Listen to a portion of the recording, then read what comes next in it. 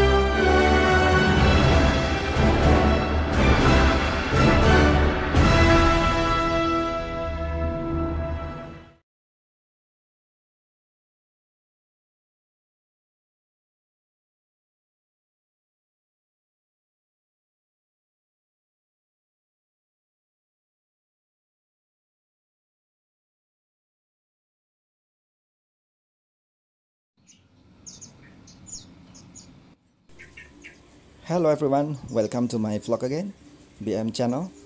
And for this video, I'd like to share to you about uh, how I breed my giant betta fish. And of course, uh, you can see a lot of uh, technique how to breed a giant betta, but uh, little bit different uh, compared than another betta. In here, you can see that I have quite a lot of the babies, just one or two weeks old and then this guy is about um, one month old. Quite a lot of also. Breeding of uh, giant betta is really interesting to me because it's not easy as another betta and here i have a one month and half old. They grow very fast quite big now. Then uh, some of them i keep in separate uh, container like this. This is the same one month and a half and you know the size is almost three centimeters just body only. And then some of them they start already for the color transformation like this. And of course i hope in the future they will grow fast big and colorful of course the very nice form. I hope so.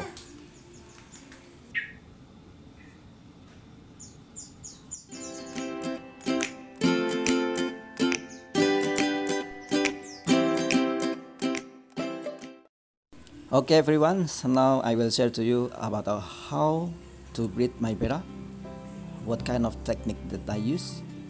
And here i just prepare one night before water and then with a container and one tablespoon salt for each container. And the water depth about uh, 15 centimeters. I prepare one night before. Then in the morning i'm looking for this uh, completely dry of the banana leaf like this. As i said to you that the breeding of the giant betta is not really easy than another betta so the point is i need to save my betta so that is why i use this uh, dry banana leaf. Just cut like this. Make it a smaller piece. And then to make the mini shelter or hiding place i need to tear off the banana leaf and make it smaller like this. Anyway, I need to keep the parent safely after breeding. Just put into the container of the banana leaf like that. Make a some piece of banana leaf around the container so that we can make a mini shelter. And then I cut a smaller of the banana leaf like this for the bubble nest. A lot of bubble, then will be much much better. After that, I'm trying to get uh, another bubble from my another betta. I have some of them, and just uh, take it, that a bubble.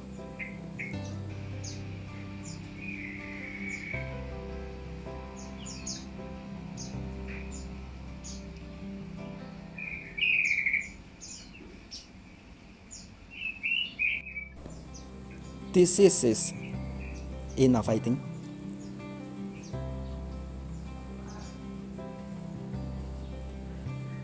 then just uh, lay down the dry banana leaf on the top of that bubble. And then put into the container like this. And of course because of the bubble that the piece of the banana leaf will keep floating. The purpose is to ask and to make that uh, male will make the bubble around that nest. Why I need to use the banana leaf because I have two reasons. One is to provide the hiding place in order to keep our betta safely and another thing is to create the starter of infusoria after that. As you may know that the banana leaf can create the infusoria for very very small creature then can be used for the food for the fries or betta. Oh yeah, just make sure some of the banana leaf is sinking like this and another one uh, floating like this. The purpose is to make a, something like a partition so that can reduce they are fighting each other. It's very easy actually. Many shelter that I make or many shelter that I provide here will be much better to keep our betta parents safely because uh, no eggs will be much better than the parents die. Just make it sure floating and sinking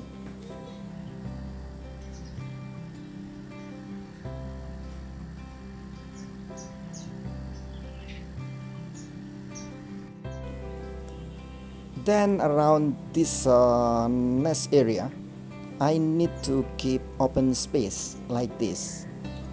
Because uh, if we successfully breeding and they have uh, babies finally they can swimming around that area.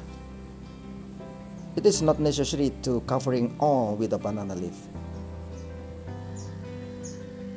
Okay everyone, my preparation for the breeding of my betta has already complete now and this time I will breed for 5 pairs of the giant betta.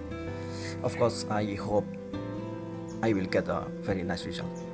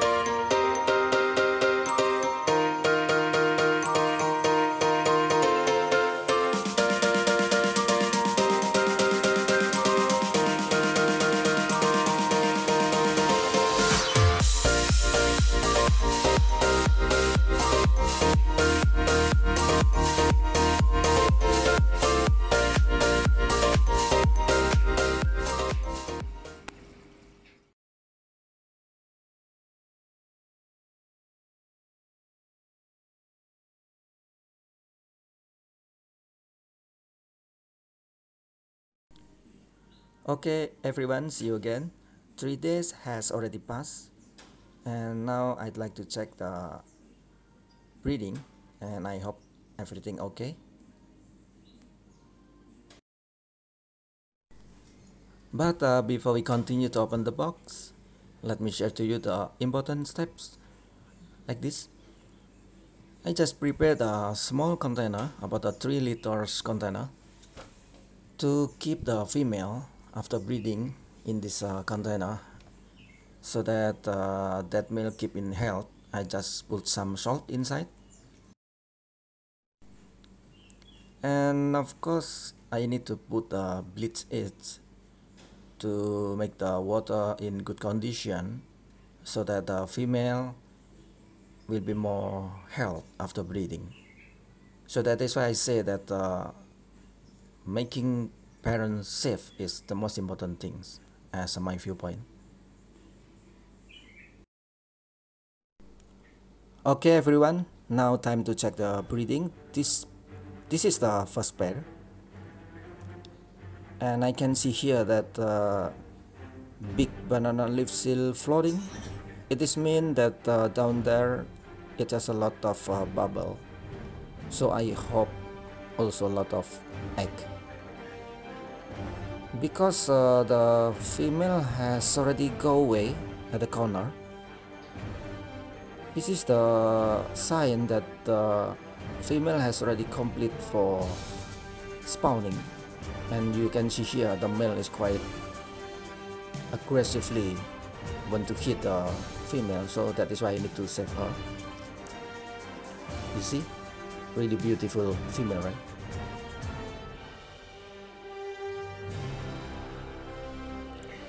just take care her into the health blue water.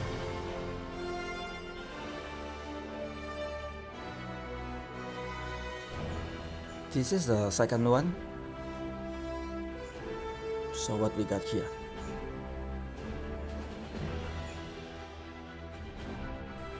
And wow there are a lot of bubble. But seems it's not a finished yet hatching and spawning so I just let them keep continue maybe another one or two days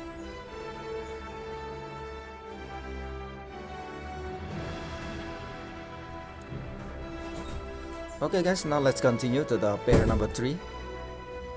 Sim they produce uh, babies, uh, not babies, eggs already, some eggs I can see.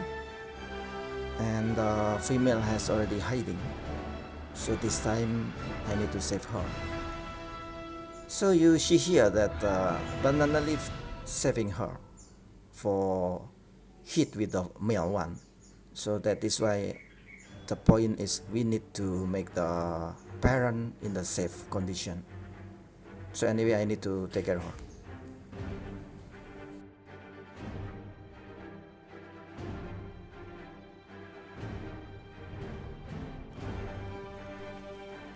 now is pair number four. What we got here seems maybe nothing? Or at the below of the banana leaves they have uh, some bubble or egg I don't know but uh, seems nothing here. And you can see here the female is quite aggressive. So I hope the banana leaf can protect just give another one day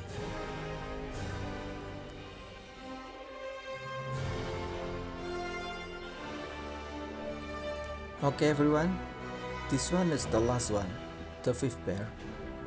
You can see many bubble, bubble here, so I hope many eggs.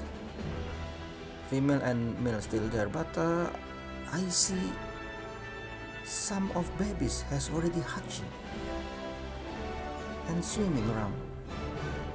See, just in three days, hatching already. I guess some of the egg has already hatched in today because not so many yet maybe still below than uh, below the, the bubble I hope I have uh, many babies here. And I'm happy because uh, my five pairs betta condition still in good and very health even after breeding. No body damage or even injury. Every betta has in really good condition anyway. I need to save this uh, female to the blue water. Okay everyone, I have already bred my 5 pairs betta, some of them has already produced egg, some of them not yet. I need to wait for one or two days more and also I have one pair has already hatching the babies. Okay everyone, thank you so much for watching my vlog.